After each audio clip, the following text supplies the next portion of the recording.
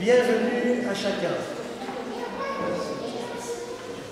Nous sommes très heureux d'être ici ensemble pour louer le Seigneur, pour lui rendre gloire. C'est un culte de louange. Alors, dès maintenant, merci à tous ceux qui ont accepté une participation. Avant de chanter ensemble, je vous invite à un moment de silence pour que chacun puisse se placer devant Seigneur. Ayons un petit moment de silence.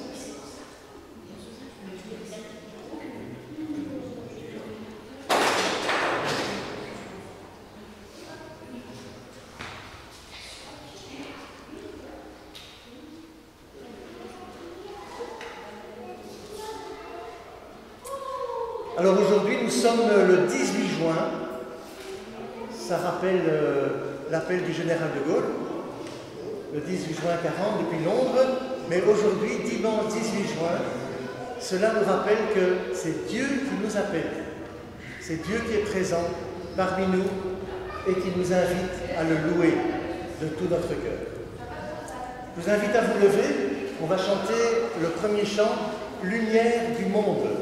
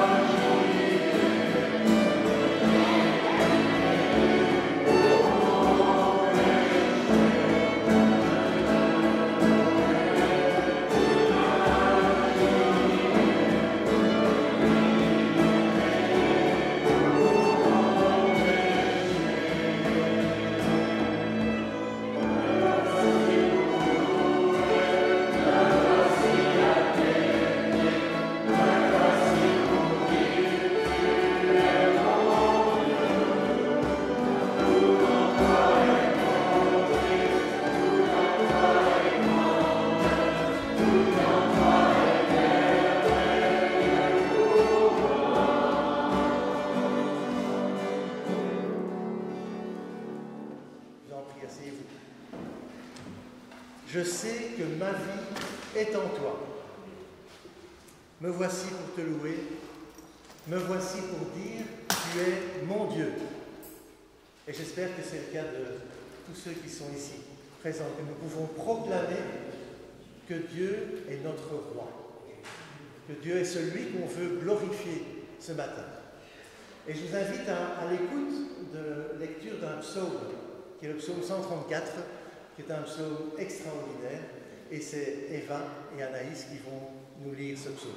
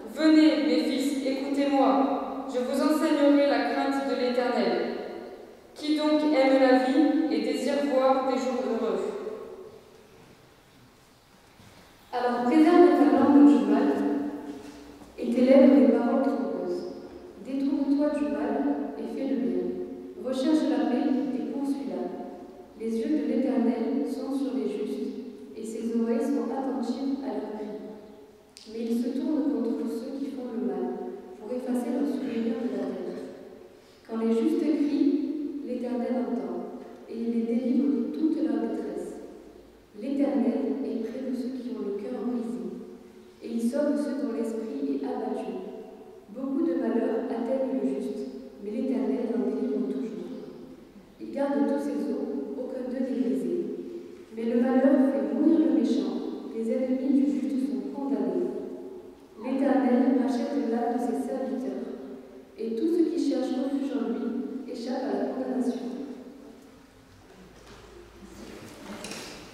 Merci beaucoup. Avant de prier, je voudrais juste relever deux versets de ce psaume. Dites avec moi, et nous sommes ensemble pour le dire, dites avec moi la grandeur de l'Éternel, célébrons tous son nom.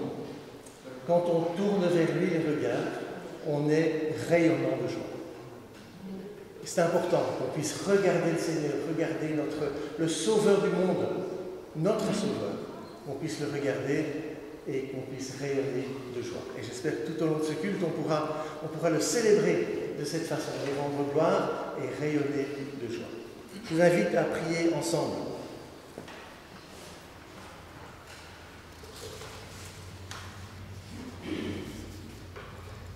Je veux bénir l'Éternel en tout temps. Sa louange sera toujours sur ma bouche.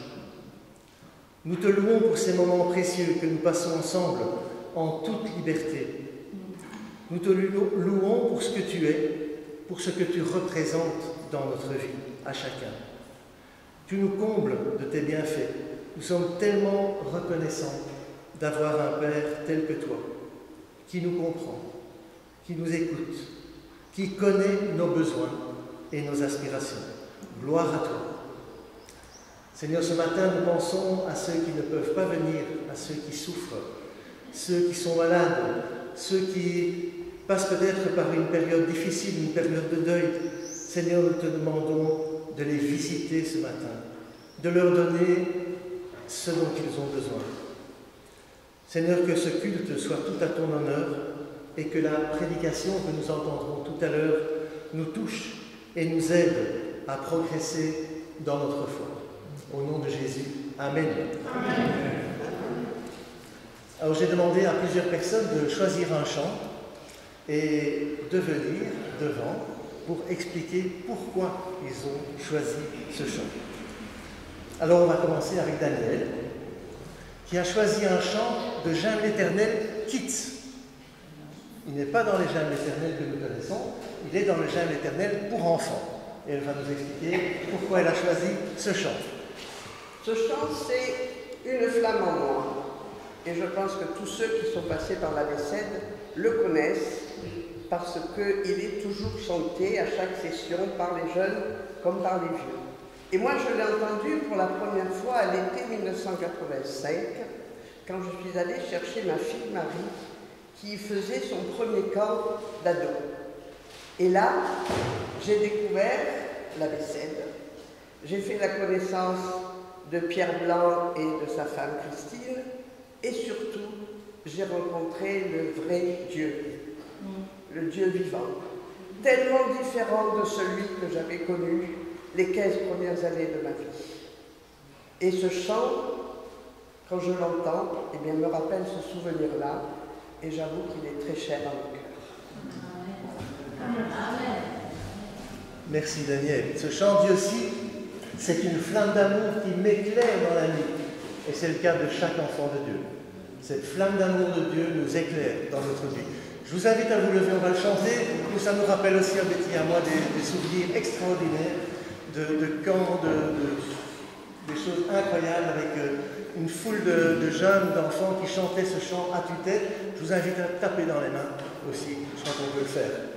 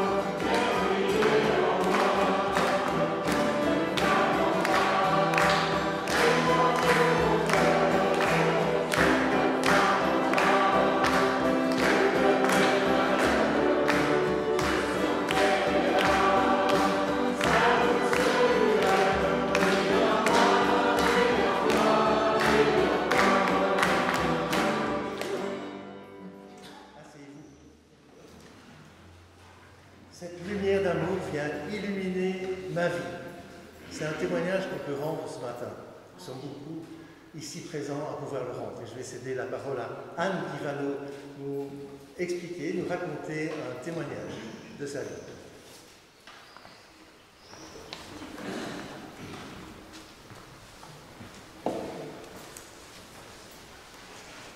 Depuis que je suis petite, Dieu est mon ami. J'ai eu la chance de le connaître parce que mes parents m'ont parlé de lui. Et quand j'ai grandi, c'est mon pasteur et mes amis chrétiens qui m'ont apporté une communion spirituelle. Ma foi s'est ancrée petit à petit pendant mon enfance. Après le lycée, j'allais beaucoup moins à l'église. J'avais peur d'être jugée. Mais je n'étais pas en colère contre Dieu, même si je savais qu'il n'approuvait pas forcément mes choix. C'est aussi pendant cette période que j'ai appris à prier à haute voix avec d'autres chrétiens de mon âge. Plus tard, j'ai recommencé à fréquenter l'église régulièrement après notre mariage, Charles et moi, nous avons vécu des moments de très forte exaltation spirituelle. Avec nos amis chrétiens, nous vivions des moments très forts dans la louange, dans la prière et dans la lecture de la Bible. Je lisais et j'écoutais énormément de témoignages de miracles et de témoignages de guérison. Et nous avons eu l'occasion de vivre nous-mêmes des réponses très précises à des prières quand nous avons été dans le besoin. Il y a quelques années, j'ai eu des problèmes dans ma santé psychique. J'ai traversé un désert spirituel. Je ne priais plus parce que les mots ne venaient pas. J'avais besoin de temps pour discerner le bien du mal. Et aussi pour reconstruire ce qui était cassé. Mais dans ce désert, je savais que Dieu était toujours mon ami. Je vais vous partager deux expériences qui m'ont aidé à remettre le pied à l'étrier. La première, c'est avec la lecture du livre des Proverbes. Après les gros chamboulements que j'ai vécus, j'ai voulu me plonger dans le livre des Proverbes pour en tirer des paroles de sagesse divine. Je n'ai pas été déçue. J'en ai sorti des trésors, des paroles guides pour le quotidien. Ces paroles m'ont donné beaucoup de réponses et ont été une grande source d'apaisement. Parmi ces paroles, j'ai surtout été encouragée par celles qui apprennent ce que c'est que la maîtrise de soi, la maîtrise de ses paroles, la maîtrise de ses émotions. Quand on lit les proverbes, ce ne sont pas seulement des lois qui nous sont dictées, mais des paroles qui sont vraiment des sources d'encouragement. J'ai aussi beaucoup été encouragée par les paroles sur la générosité et aussi celles sur l'activité, sur la paresse et sur le repos. Quand j'étais un peu perdue en tant que jeune maman, les paroles sur l'éducation ont été aussi une grande source d'encouragement. Tous ces petits versets qui m'ont aidé, je les ai appris et j'y ai souvent repensé tout au long de mes journées. La deuxième expérience qui m'est arrivée, c'est par rapport à la prière. J'avais donc beaucoup mal à prier. J'étais gênée de me placer devant Dieu. En relisant ma Bible, je me suis penchée dans l'évangile de Jean. Et dans cet évangile, Jésus dit Si vous me connaissiez, vous connaîtriez aussi mon Père. Il dit aussi Celui qui m'a vu a vu le Père. Pour connaître Dieu, il faut donc connaître Jésus. C'est vraiment simple. Je connais Jésus, je connais l'immensité de son amour. Les bras du Père sont grand ouverts. Je voudrais terminer mon témoignage avec cette définition de l'amour tirée des proverbes. La haine fait surgir des conflits, alors que l'amour couvre toutes les fautes. J'aime ce verset parce qu'il parle de patience, il parle de pardon. Il me rappelle que Dieu nous aime, quelles que soient les circonstances, quels que soient nos questionnements, quels que soient nos comportements. Il nous aime avant que nous ayons changé nos mauvaises manières d'agir. Si nous nous égarons, si nous faisons des erreurs, son amour demeure. La paix spirituelle, la joie et le bonheur sont au bout des tribulations. Dieu est toujours notre ami, il nous attend. Merci beaucoup Anne, merci pour ton courage. C'est pas évident de venir ici devant, de raconter une partie de sa vie, mais ça fait tellement de bien. Je retirerai une chose importante de ce témoignage. Dieu est mon ami. Est-il votre ami? Oui. Une deuxième chose, elle a cité, elle a cité tous les proverbes.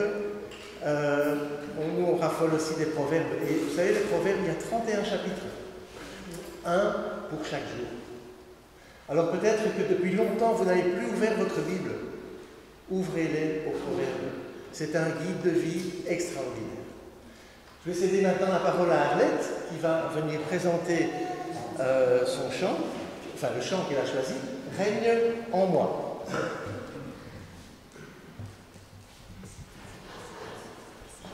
Si, si, libre de nos chants, c'est ça. Sans le micro d'ailleurs. Oui. Je suis très contente de pouvoir dire que ce chant, chaque fois que j'entends euh, jouer ou chanter, euh, me fait du bien. Parce que ce chant m'enlève le poids, le poids de chaque jour, de ce fardeau que la vie de maintenant nous apporte. Mais en lui, en Jésus-Christ, je sais que j'ai la victoire. Et je sais que je suis allégée, je suis libre, je suis libre de ce monde. Je, lui appartiens, j'appartiens à Jésus-Christ. Et je, et je suis très heureuse de pouvoir témoigner chaque fois que cela m'est possible. Je témoigne de Jésus-Christ, le Seigneur du monde. Voilà. Et je suis très très heureuse de pouvoir le dire devant, devant mes frères et sœurs. Merci. Merci beaucoup. Je vous invite à vous lever, on va chanter ce chant de victoire. Libre de nos chaînes, Seigneur, règne en moi.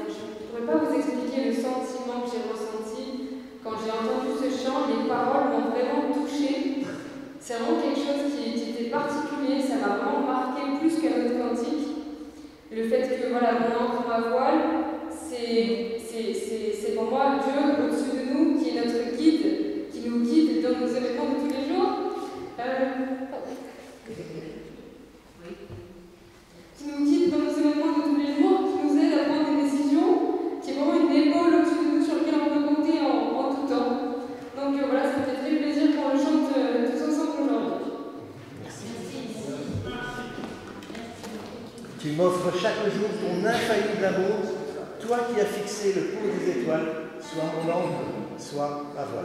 On se lève pour ceux qui veulent, ceux qui veulent rester assis, restent assis. Chantons-le de tout notre cœur comme vraiment une louange à notre Dieu.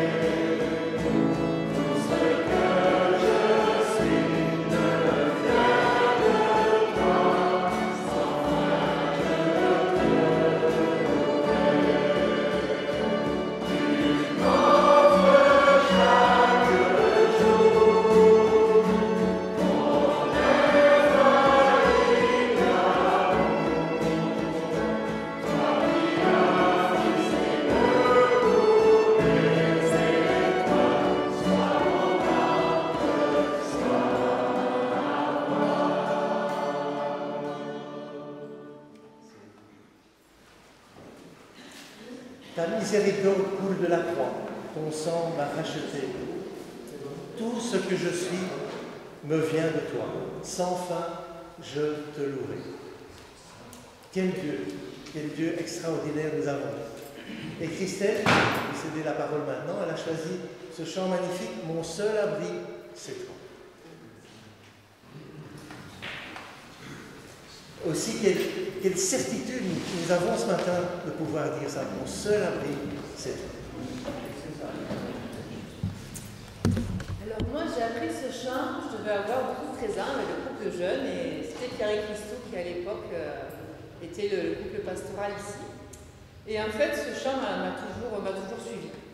Et euh, quand ben, aujourd'hui euh, on, est plus vieux, on a quelques soucis, on fait des insomnies, et ben, c'est ce chant qui m'aide à, m'apaiser.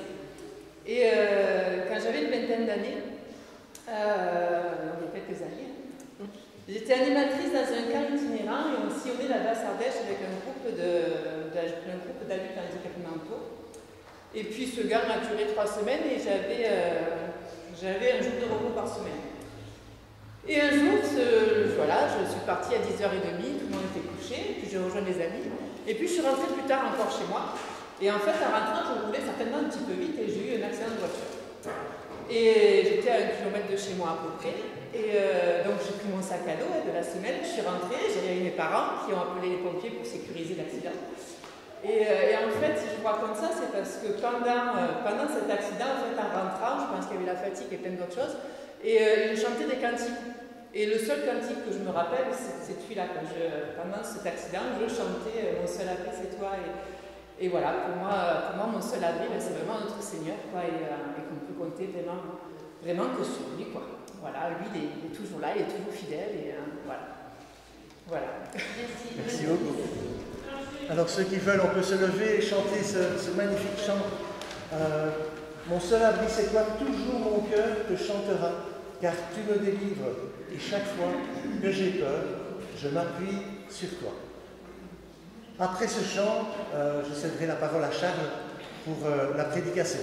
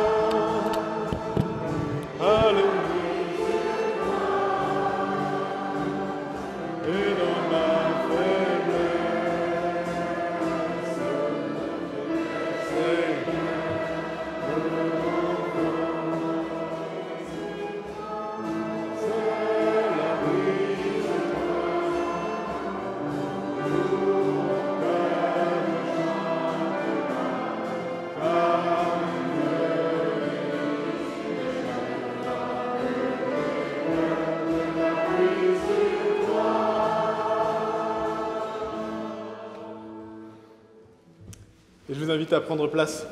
Est-ce qu'on peut?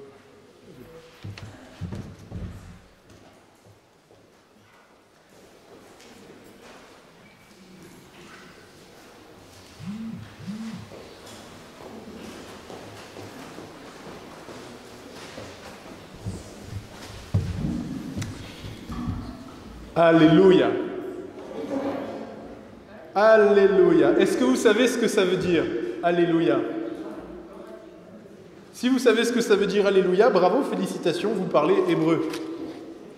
Alléluia, ça veut dire louer le Seigneur, louer l'Éternel.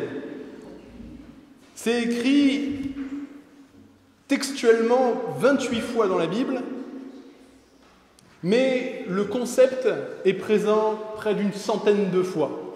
Parce que des fois, c'est dit célébrer le Seigneur, ou chanter le Seigneur, ou prier le Seigneur, ou dites les louanges du Seigneur. Et nous allons nous tourner ce matin vers un psaume où ça commence avec, j'ai envie de dire cet ordre, mais ce n'est pas vraiment un ordre, cette exhortation à louer notre Dieu. Nous allons lire le psaume 111, c'est le psaume que nous allons voir ce matin ensemble. Psaume 111. Louez l'Éternel. Je louerai l'Éternel de tout mon cœur dans la réunion des hommes droits et dans l'assemblée. Les œuvres de l'Éternel sont grandes, recherchées par tous ceux qui les aiment. Son activité n'est que splendeur et magnificence, et sa justice subsiste à perpétuité. Il a laissé le souvenir ou la mémoire de ses miracles et de ses merveilles. L'Éternel pardonne, il fait grâce, il est rempli de compassion. Il a donné de la nourriture à ceux qui le craignent, il se souvient toujours de son alliance. Il a montré à son peuple la puissance de ses œuvres en lui donnant l'héritage d'autres nations. Les œuvres de ses mains, c'est la vérité et la justice. Et tous ces décrets sont dignes de confiance, bien établis pour toute l'éternité, faits avec droiture et vérité. Il a envoyé la libération à son peuple, il a prescrit son alliance pour toujours, son nom est saint et redoutable. La crainte de l'Éternel est le commencement de la sagesse. Tous ceux qui respectent ces décrets ont une raison saine. Sa louange, là il y a écrit sa gloire, mais textuellement écrit sa louange subsiste à perpétuité. Voilà jusque-là la lecture de la parole de notre Dieu.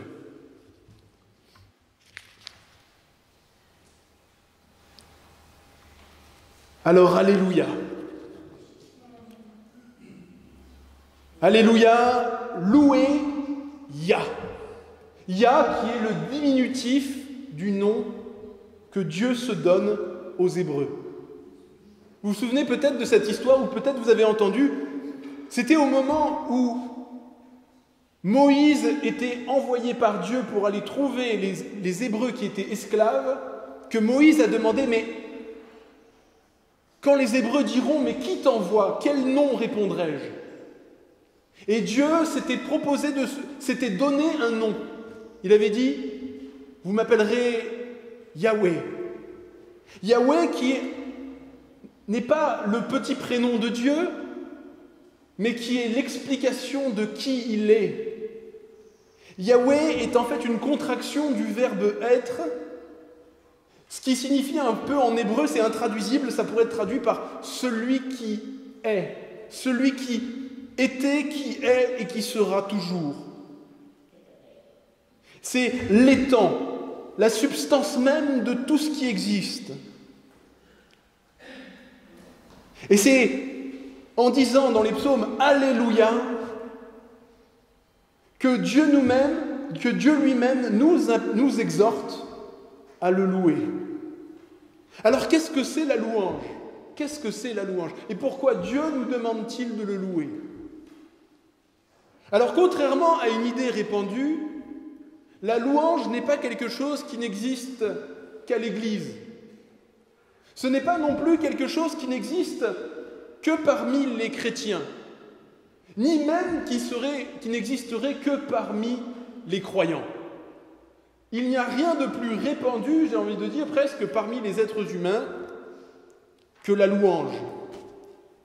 Les gens du monde louent continuellement. Nous louons même, c'est-à-dire nous, nous vantons les qualités, les mérites, l'existence de quelque chose ou de quelqu'un. Louer, c'est le même verbe que élogieux. Ça a donné élogieux, faire les éloges. La vie humaine, et à juste titre, est remplie de louanges pour toutes les choses qui nous plaisent ou qui nous émerveillent.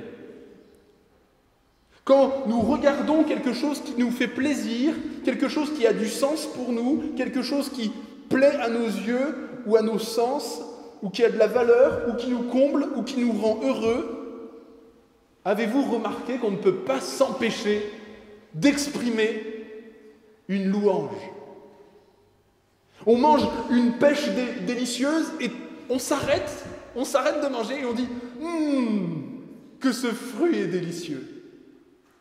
On, marche au détour d'un chemin, on tombe sur un paysage, on s'arrête et on dit que c'est beau. On voit un enfant qui nous fait un sourire et là on exprime, on dit Oh, que tu es belle, petite fille. Qu'est-ce que tu es belle. On lit un livre qui nous a plu et on dit aux autres Ce livre est bouleversant. Il y a tel ou tel personnage public qui nous a frappé, qui a gagné notre estime. On dira cet homme est valeureux. Et nous parlerons de la même manière de la personne dont on est amoureux. Il est impossible, pratiquement pour l'homme, il est impossible à l'homme de vivre une vie sans exprimer de louange. C'est comme, si à chaque fois qu'on a atteint une sorte de trop-plein de joie, et de gratitude, il y a quelque chose qui déborde instinctivement de nous et qui se transforme en louange et en éloge. Mais avez-vous remarqué ceci? On pourrait dire, mais pourquoi est-ce qu'on fait ça? Pourquoi est-ce qu'on a besoin d'exprimer comme ça que quelque chose nous fait du bien, ou que quelque chose nous fait plaisir, ou que quelque chose nous émerveille? Pourquoi on le fait? Avez-vous remarqué qu'à chaque fois qu'on exprime un éloge ou une louange à propos de quelque chose qui nous fait du bien, la louange, écoutez bien ceci, la louange n'est pas seulement un moyen d'exprimer notre joie, elle est un moyen surtout de multiplier notre plaisir et notre joie. Est-ce que vous avez remarqué comment le fruit est meilleur quand vous dites hum, c'est délicieux que si vous le mangez comme ça, hum, en, en disant il ne faut pas que j'exprime qu'il est délicieux ça n'a pas le même goût, vous savez quand, on est avec des... Et, en plus, il y a un plaisir extraordinaire. Si on est tout seul dans sa cuisine et qu'on mange un fruit, on va dire hum, ce fruit est délicieux, ça nous fait plaisir. Mais si en plus on est en train de partager le fruit avec d'autres gens et qu'on dit hum, ce fruit est délicieux, et puis l'autre surenchérit oh j'ai jamais mangé une pêche aussi bonne, et puis quelqu'un d'autre dit encore la même chose, et bien là on est, le plaisir se multiplie. On a encore plus de joie. La, pêche nous, nous remplit d'une joie et d'une. Alors que ce n'est qu'une simple pêche, un simple fruit. Plus, plus les gens autour de nous surenchérissent dans les éloges de la même chose, et plus notre joie et notre plaisir en commun augmentent. Autrement dit, on ne profite jamais aussi bien d'un moment, d'une œuvre, d'un talent, de la joie de la présence d'un ami que quand on peut l'exprimer. Soit à la personne concernée, c'est le cas avec les amoureux, oh, que tu es belle, tu me plais, etc. Soit à d'autres, vous avez vu comment c'est extraordinaire ce film, vous avez vu comment cette course est grande, vous avez vu ce joueur de foot. Et c'est précisément parce que nous avons cette chose, nous avons été créés pour louer, que la louange fait partie de notre ADN, que Dieu nous invite à être nous-mêmes en le louant. On n'est jamais aussi un, on n'est jamais autant un vrai être humain que quand on se met à louer Dieu. Parce que en lui, nous trouvons la seule source de bonheur absolument éternelle. La seule source de joie qui dure pour toujours. La seule source d'émerveillement qui dure pour l'éternité. Parce que Dieu est l'être le plus beau, le plus grand, le plus digne, le plus merveilleux de tout l'univers, de tout ce qui existe. Et lorsque nous contemplons soit les choses qu'il a créées, soit que nous contemplons qui il est à travers la Bible et son amour qu'il a pour nous, eh bien là on ressent une profonde satisfaction, un profond bien-être qui rejaillit en louange. Et Dieu veut que nous soyons pleins de joie et que notre joie soit complète. Et de même manière que on se réjouit dans les petits bienfaits, les petits bonheurs de la vie à juste titre, eh bien Dieu veut que ces petits bienfaits et ces petits bonheurs, ils prennent encore plus de plaisir pour nous, que nous puissions encore multiplier notre joie en sachant admirer en même temps les créations de Dieu et le Créateur. C'est-à-dire que quand je vois un beau paysage, quand je mange un fruit délicieux, quand je peux à la fois et me réjouir du fruit et du paysage et me réjouir du Dieu extraordinaire qui a créé tout cela. Et ça multiplie encore notre joie. Et c'est étonnant, c'est étonnant que les êtres humains, qui souvent à juste titre savent apprécier et faire l'éloge de tout ce que Dieu a créé, eh bien se retrouvent souvent en fait froids, avares, ingrats. Dès qu'il s'agit de faire les louanges de Dieu. On a beaucoup de mots, beaucoup de force pour parler de toutes choses, mais dès qu'on parle de lui, j'ai rien à dire. Vous savez, Dieu n'est pas Dieu n'est pas un égomaniaque, il n'est pas un mendiant qui a besoin de notre louange, il n'est pas en train de quémander nos compliments. Mais Dieu est digne de louange. Et surtout, il est un être de relation. La louange n'a de sens en fait que dans la relation. Et c'est parce que Dieu veut que nous soyons en relation avec lui que la louange fait sens. Vous savez que Dieu prend plaisir à notre louange.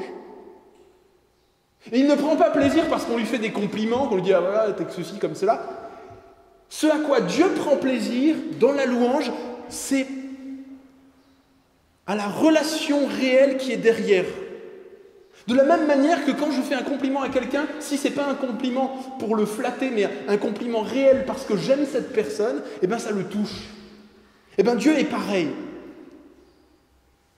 Dieu attend de nous une relation et ce qu'il attend n'est pas une louange ou une pratique rituelle superficielle, mais il attend une louange sincère qui déborde de notre cœur.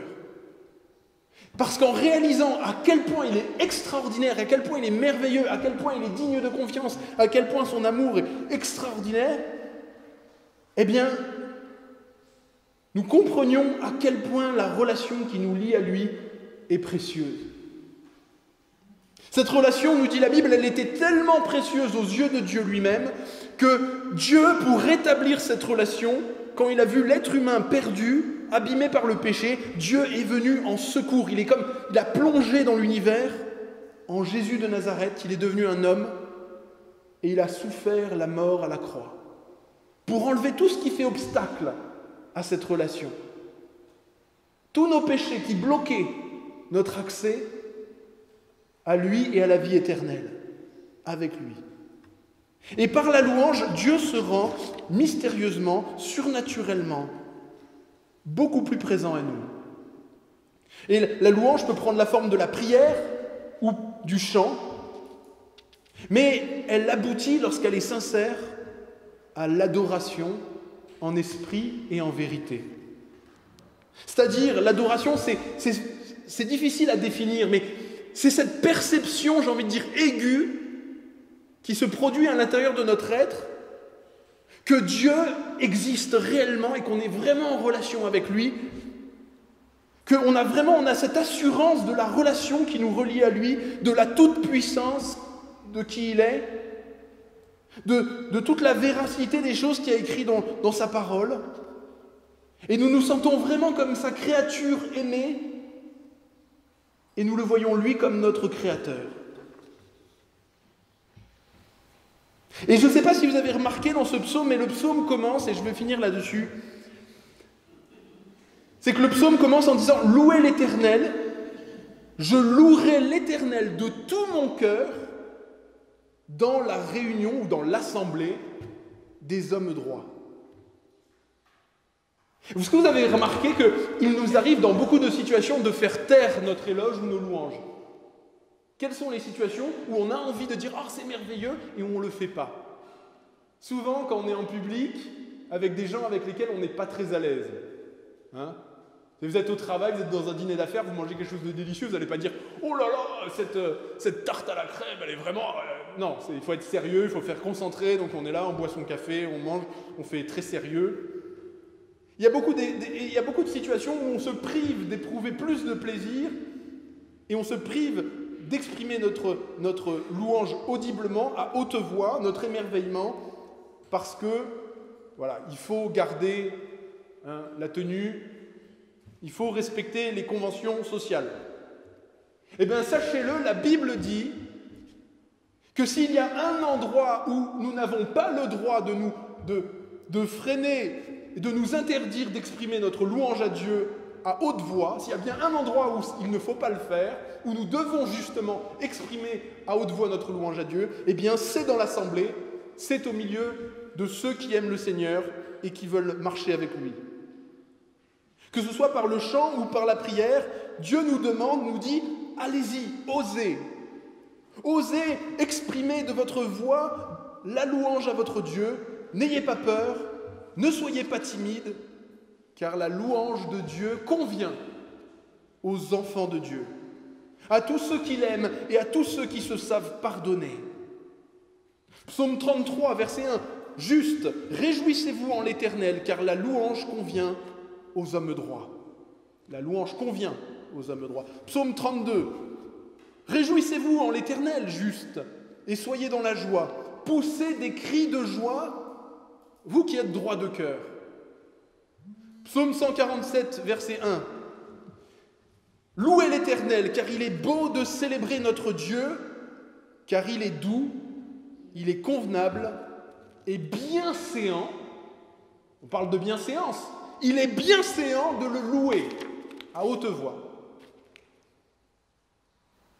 Alors, pour conclure, le Seigneur se réjouit de nous voir tous réunis ensemble. Il a plaisir à la louange qu'on lui adresse et qui vient de notre cœur. Cela compte à ses yeux. Elle reflète notre désir d'être en relation avec lui. Et ce matin, nous sommes dans la joie, et cette joie, nous pouvons la multiplier parce que nous sommes tous ensemble émerveillés du Dieu merveilleux qui nous a créés et qui a fait pour nous de grandes choses. Et l'adorer, le louer, c'est notre place pour l'éternité. C'est la voie du bonheur et de la joie éternelle. Alors, louez l'Éternel en toutes choses Louer l'Éternel et célébrer ses louanges à haute voix, ici, dans l'assemblée de ceux qui l'aiment. Alléluia, Alléluia, Alléluia.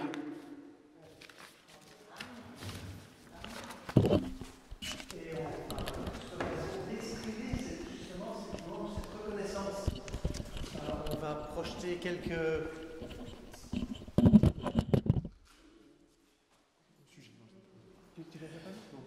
ah non, ok. Euh, j'avais noté quelques sujets pour lesquels on peut vraiment louer le Seigneur. Bon, il y a euh, l'amour de Dieu, sa fidélité, sa protection, la sécurité, son écoute, le salut qu'il nous offre, le fait d'être notre berger. Euh, on peut le louer pour la croix, pour l'espérance. C'est une liste qui n'est pas du tout exhaustive. Et ce que je vous demande ce matin, c'est peut-être que le plus grand nombre ici, et Charles l'a dit, c'est l'endroit idéal pour louer le Seigneur dans la communauté, que le plus grand nombre puisse prier pour un sujet. Pas deux sujets, un sujet. mais n'hésitons pas, exprimons notre reconnaissance, exprimons notre louange pour un sujet qui vous vient en tête. Prions. Allons-y.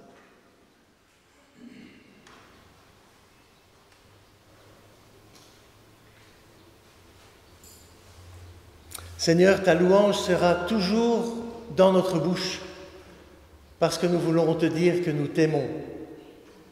Au nom de Jésus. Amen. Père, je te prie pour mes frères et sœurs ici rassemblés, pour que tu les bénisses abondamment, pour que tu les gardes, que tu les protèges. Ce sont tes enfants et ils t'aiment. Sois béni, Père, dans le nom de Christ. Amen. Seigneur, on te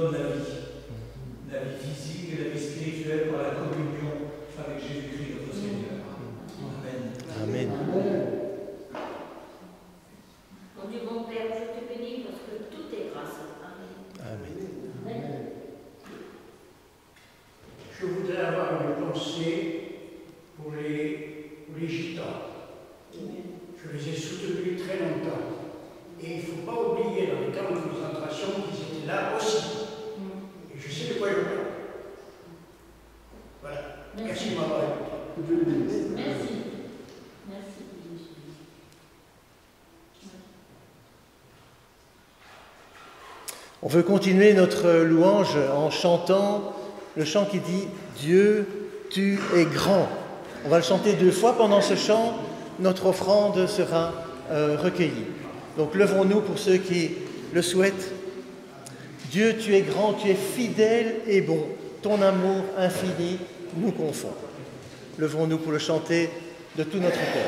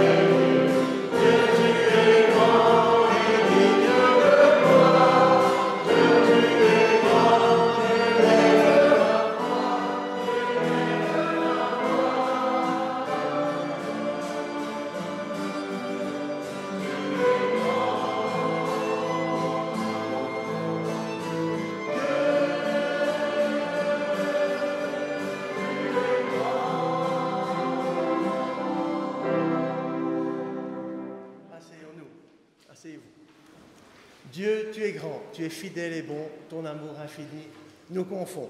Quelques annonces, après quoi euh, Charles nous conduira dans le moment de scène.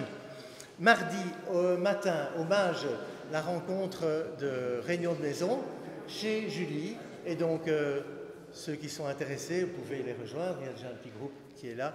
Et donc, euh, c'est super de pouvoir se rencontrer dans les maisons pour apprendre à connaître mieux le Seigneur, mais aussi à partager, à prier, à louer le Seigneur. Ce soir, à 18h, est-ce que tu as quelques petites euh, nouvelles ou...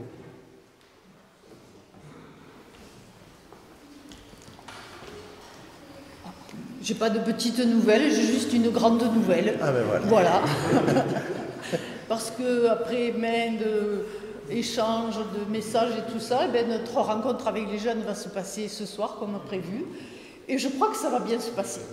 Voilà. Alors si des fois il y a des, des jeunes qui n'ont pas été contactés, ben, vous venez à 17h30, euh, on se réunit d'abord dans le presbytère, après on va dehors, puis on va manger, puis on va jouer. Enfin voilà, ça va être super. Et tout ça, alors je voudrais le dire quand même, d'abord euh, grâce à Anaïs et Eva, qui ont été un peu euh, les moteurs au départ, et puis après Charles qui a sauvé la mise au départ. Et puis peut-être il y a quelqu'un d'autre aussi qui est intervenu. Tout à fait. Voilà, n'oublions pas de prier, de porter les uns les autres, tous ceux qui sont dans la peine, tous ceux qui souffrent, prions régulièrement pour toutes les personnes qui en ont besoin. Merci.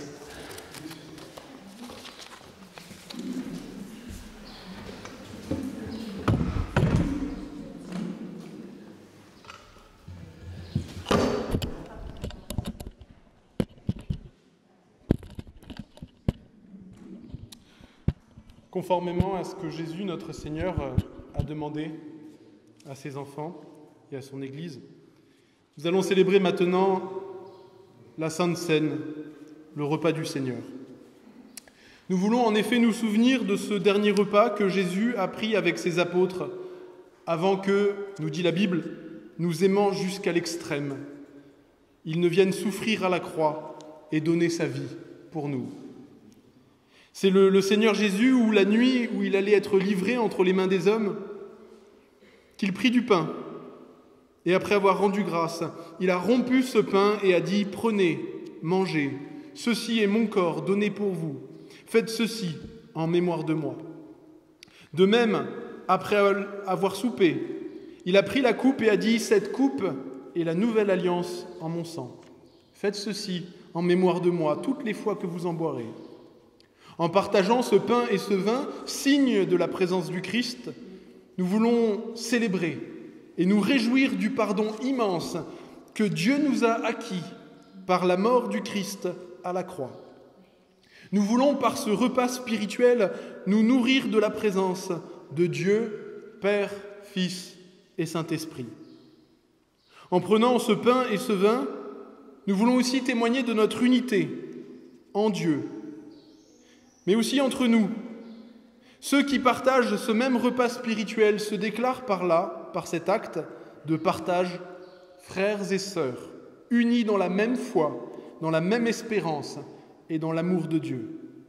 Prions le Seigneur. Seigneur éternel,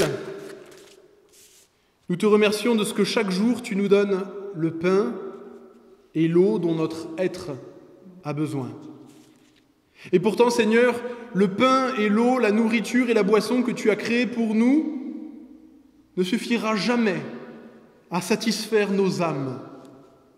Nous avons besoin, Seigneur, de plus que les choses que tu as créées. Nous avons besoin de quelque chose de plus grand que ta création. Nous avons besoin de ta présence, toi notre Créateur. Alors nous te demandons, Seigneur, envoie sur nous ton Esprit Saint et que, en recevant ce pain et cette coupe et ce vin, nous puissions communier de tout notre cœur à ta présence. Amen. Dans le livre de l'Apocalypse, à la fin de la Bible, le Christ ressuscité nous dit à chacun cette phrase. Voici, je me tiens à la porte et je frappe. Si quelqu'un entend ma voix qu'il m'ouvre la porte et je prendrai la scène avec lui et lui avec moi. La condition pour prendre part à ce repas n'est pas d'être parfait, car Dieu seul est parfait. Au contraire, en prenant part à ce repas, nous reconnaissons que nous sommes imparfaits et que nous avons eu besoin et que nous avons besoin et que nous aurons besoin du pardon de Dieu. Et ce pardon, nous l'avons trouvé en Jésus de Nazareth, le Sauveur et le Seigneur de notre vie. Alors, si ce n'est pas ce que vous croyez, si vous ne croyez pas que Jésus est le Seigneur et le Sauveur, ou si peut-être un autre motif de conscience vous en empêche, je vous invite à rester quand même avec nous pour vivre ensemble ce moment, mais simplement, par respect, je vous demanderai de laisser passer le pain et le vin sans en prendre. Personne ne vous juge. Mais que tous ceux qui reconnaissent la voix de leur Seigneur ouvrent la porte de leur cœur. Qu'ils viennent communier avec lui et les uns avec les autres pour former un seul corps, que tous ceux qui reconnaissent en leur âme et conscience que Jésus-Christ est le Seigneur et Sauveur de leur vie viennent prendre part au repas et surtout ne s'en abstiennent pas. Le Maître nous appelle. Venez, dit Jésus, car tout est prêt. Alors ce qu'on va faire, c'est que je, vais vous demander, on va approcher, on va se tenir là, dans la première partie du temple, les personnes qui ont du mal à rester debout, vous pouvez vous approcher, vous asseoir sur les deux premiers bancs. Vous vous asseyez sur les deux premiers bancs. On, comme ça, on sait qu'on peut vous servir pour tout cela. Voilà, approchez-vous. Et on va finir le culte en étant de ce côté-là. On finira le culte comme ça.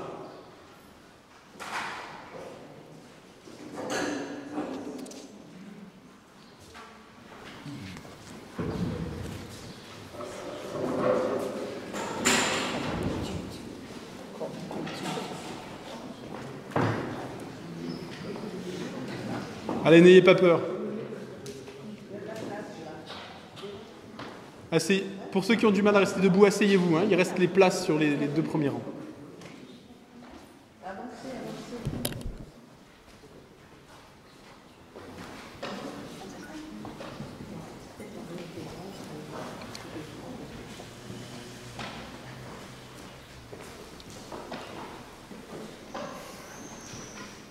Le pain que nous rompons est la communion au corps de notre Seigneur Jésus-Christ, rompu pour nous à la croix.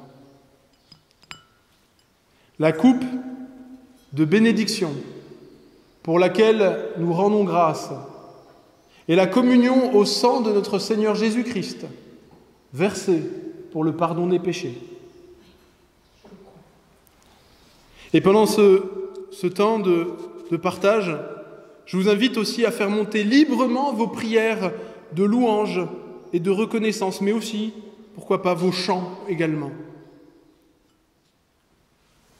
Je vais demander aux personnes qui...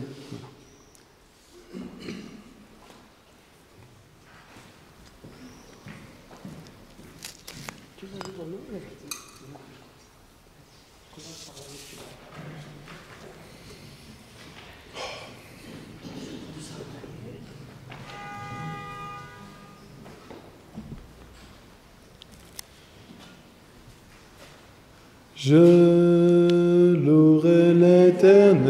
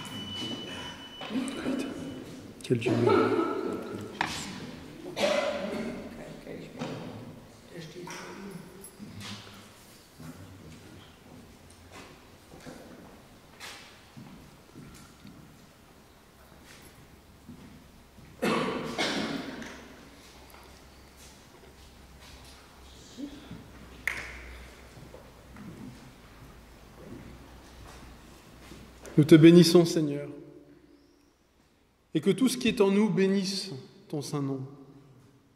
C'est toi qui pardonnes toutes nos fautes, c'est toi qui guéris nos infirmités, c'est toi qui arraches notre vie à la tombe, c'est toi qui nous entoures par ta bonté et ta miséricorde. Tant que nous vivrons sur cette terre, nous te louerons. Tant que nous existerons, nous célébrerons tes louanges, toi notre Dieu. Et nous voulons, Seigneur, en ce dimanche matin, nous rappeler de la prière que notre Sauveur, ton Fils, nous a apprise, qui nous rappelle que tu es notre Père et que tous les chrétiens du monde sont nos frères. Prions ensemble le Notre Père. Notre Père qui es aux cieux, que ton nom soit sanctifié, que ton règne vienne, que ta volonté soit faite sur la terre comme au ciel. Donne-nous aujourd'hui notre pain de ce jour et pardonne-nous nos offenses, comme nous pardonnons aussi à ceux qui nous ont offensés. Et ne nous soumets pas à la tentation, mais délivre-nous du mal, car c'est à toi qu'appartiennent le règne, la puissance et la gloire pour les siècles des siècles.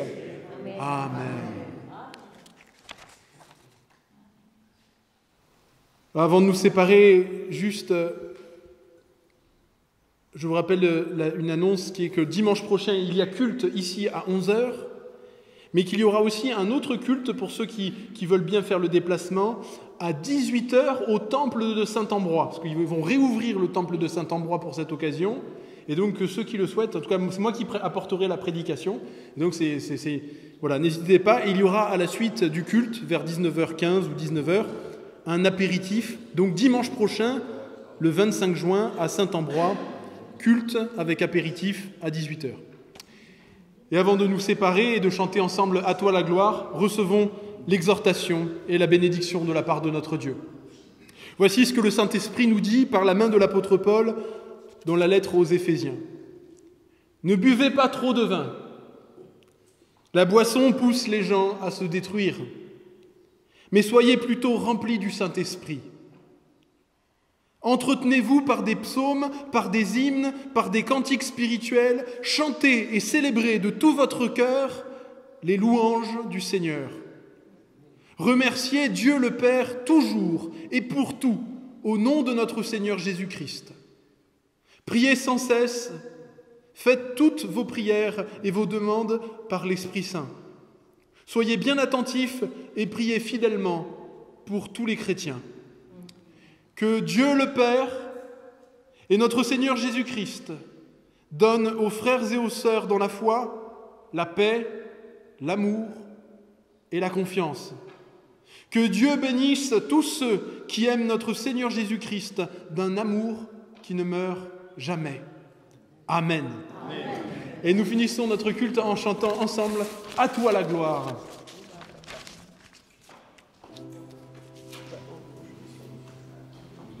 Vous pouvez rester à vos places, hein, sauf ceux qui veulent s'asseoir, vous avez le droit.